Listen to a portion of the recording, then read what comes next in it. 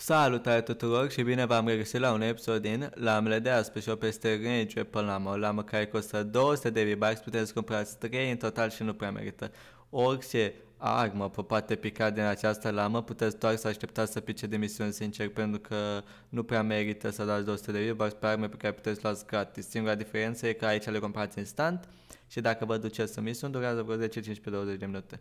Upgrade Lama, care este legendar, un survivor legendar cu trap durability și doi lideri mitici, dacă nu mă înșel, unul pe care îl puteți să alegem și unul normal pe care doar ți-l dă lamă. Și merită foarte, foarte mult această lamă. Manuale gratis, aici e relevant oricum le dăm recycle pentru că doi lideri legendari, câte manuale? 400, 500 și... Cred că am dat recycle uh, la survivorul legendar, dacă nu mă înșel.